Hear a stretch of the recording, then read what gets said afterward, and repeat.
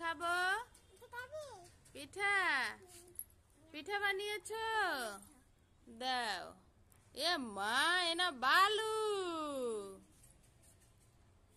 এগুলো কি বানিয়েছ তুমি?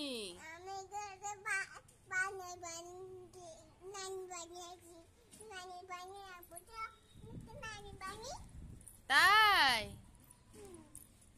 তুমি এগুলো নোংরা লাড়ছ কেন?